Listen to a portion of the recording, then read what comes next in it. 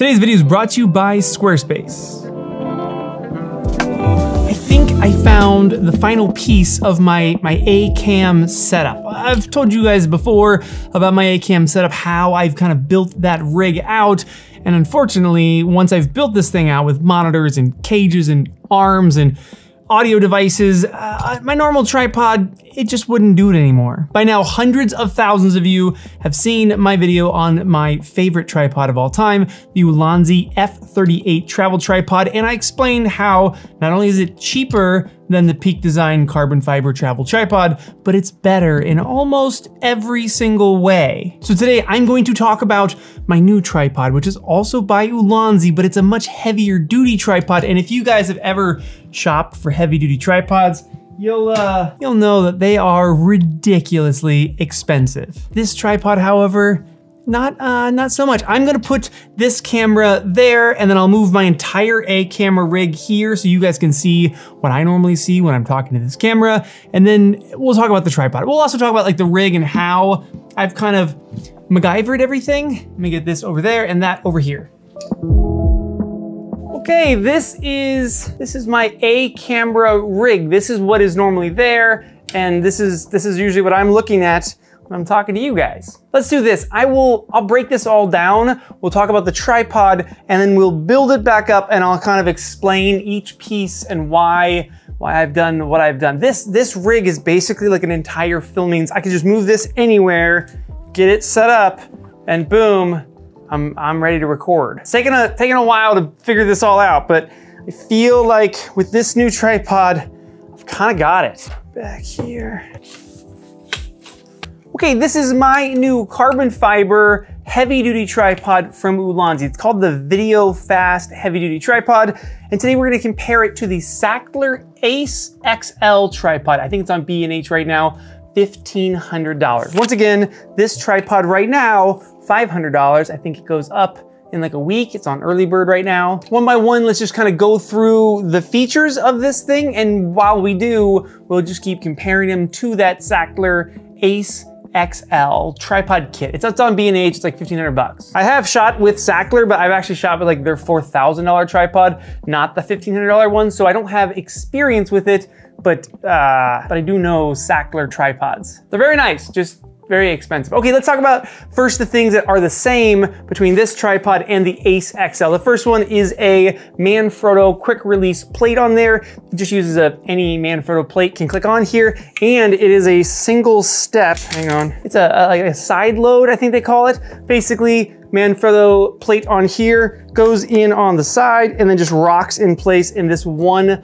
lever locks it down. So once that thing's locked on there, it is uh, not going nowhere. When you wanna get it off though, pop it out and it side loads out as well. So you don't have to do that whole like slide it on thing. Just side load in, side load out. Same with the Sachtler. Both the Ulanzi and the Sachtler have carbon fiber legs. They both have a mid-level spreader, which means that the spreader for the legs is here and not down here on the ground. Both have a 75 millimeter ball head, which means that even if you don't get it perfectly level with the legs, then you can kind of just take the head and you can, you can level it up. They also both have a bubble lever on the head where I can just get it just perfectly right screw that bowl in, and boom, a perfectly level tripod. And then the last thing that they both have is the ability to have spike feet. A lot of, I've never used spike feet, I don't think, but you have the, the regular rubber feet on there, and then if you were like on a situation where you really wanted to dig into the ground a little bit more, you would grab this little rubber pull tab, pull up, pull off, and now, uh, now there's two spikes on each leg. That's sharp.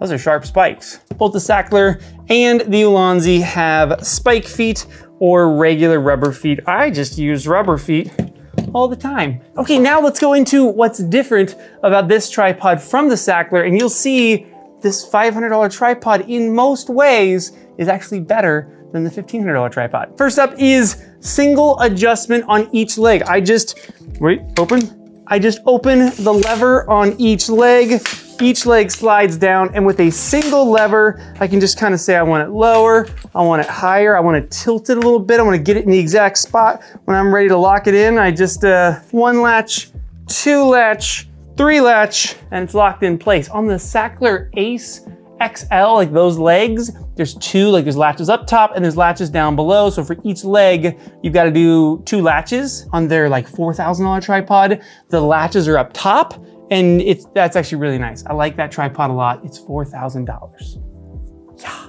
Probably the coolest bit of this entire tripod, I feel like, is uh, how quick and easy it is to set up and break down. Now, the weight of the Sachtler is a little lighter. This is 10 and a half pounds for this whole rig. The Sachtler comes in at nine and a half pounds, but this guy has a bigger payload. So the payload for, for the actual tripod itself, like the legs, is 55 pounds on here, and it's 46 pounds on the Sachtler. And then for the ball head, it is 22 pounds on this guy, and it's only 17 and a half pounds on the Sachtler. What really matters though, and things that you'll you'll feel, one, the, the single legs thing, that's probably the biggest difference that you would feel between these two tripods.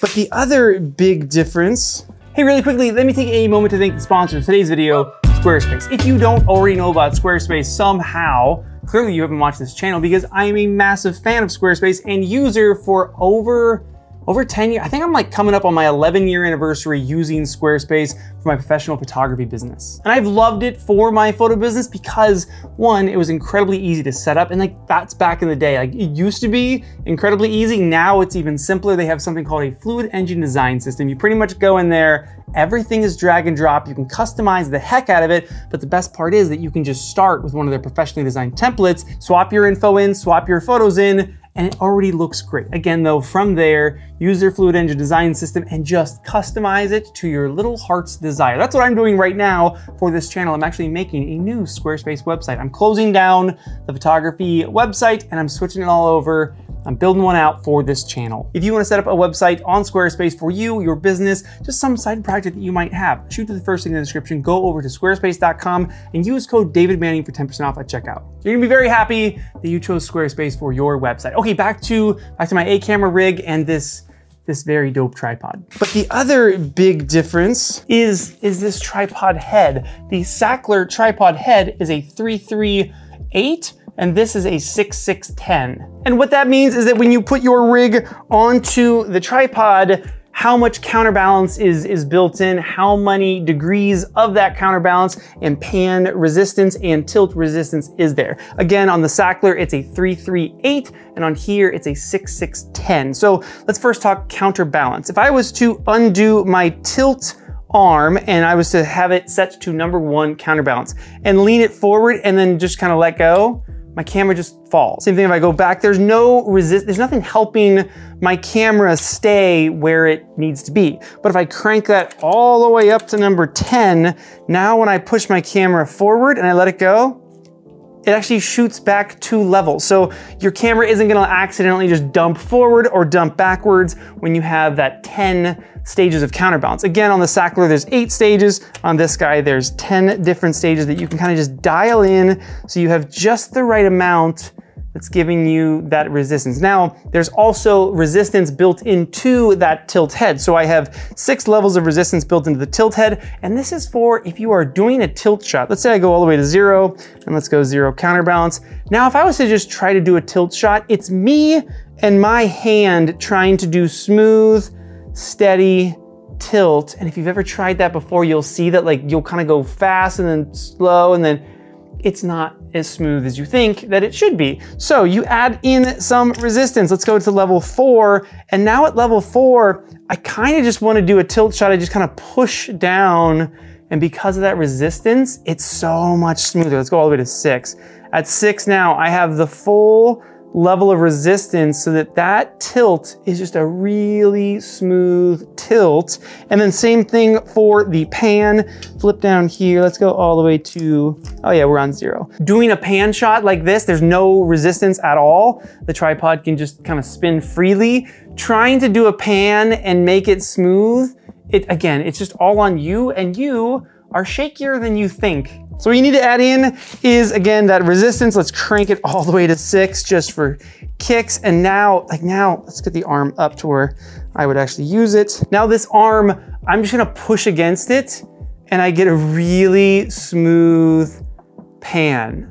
That's nice. This is, these are the features that are on very expensive tripods are now on this guy, again, $500. Oh, two more things that this has that the Sachtler does not have. Uh, one is a really nice carry handle. This carry handle bolts on to one of three locations. It has quarter 20 hole and then two locating pins. So just put that either here or either of these other two spots. But what's nice about these other two spots is that I can then put F22 plates right there. Let me, let me get it out to show you first. That little guy right there locks in because of a quarter 20 and two locating pins to this spot here. So I have one on this side and one on this side so that I can take something like, like this guy, which is the F22 Magic Arm. And because I have quick release on this side and quick release on this side, I can now just lock that onto place and boom, my tripod has a Magic Arm quick release attached to it. And now I can move this Magic Arm anywhere that I want because my audio recorder the Tascam X8 has one of these mounted to the back of it with a quarter 20 on there. I can now mount my audio recorder right on the side, kind of position it where I want so I can see it perfectly, lock that in place, and now I always know whether I'm recording audio. Many times now have I filmed these videos and then realized I wasn't recording audio. So having this magic arm there is just super clutch. Now, my goal with this setup is that I can break this thing down, like bring the legs all the way down and move it around, take it outside, go places with it, throw it in my van, take it on location somewhere. And basically the rig is just ready to go. And for that, I need audio. I need the, the microphone that goes with this. And for this bit, I, uh, I kind of took, do you guys ever see that, that Matti Haapoja video back in the day where he takes the arm of the tripod he puts it out here, hang on. The arm of the tripod is shooting out, and then I've got this guy, and this is a magic arm, F22 magic arm, quick release to a Ulanzi clamp. And then on this side, I've got my Rode NTG3. You can put any microphone on here. But the idea here is that I can mount this on the end of this arm. Hang on. Just like this, I can kind of look at my shot and then use this to get it so that the microphone is just out of frame. Now boom, no matter where I am, I have an A-cam recording. I've got my monitor up top. I have my boom arm for my microphone. I've got my audio recorder so I can monitor my levels. Everything, everything is on this one rig. I don't say it often, but I, th I think I'm a genius for but that is it. For those of you that have asked about what what camera I film with, what my rig looks like back here. This is it. And now with the Ulanzi Video Fast Heavy Duty Tripod Kit, I was able to add these magic arms on here. This is long enough now where I can put this on there and get rid of my microphone boom pole. This is, this is just such a good, it's such a good setup. So many different options that you can do. Let me know what you think. Uh, hopefully again, I saved you some money. Now we have a travel tripod, the best that there was, and it's cheaper, and now a heavy duty tripod, also the best that there is, and a third the price of a Sachtler. I'll see you soon.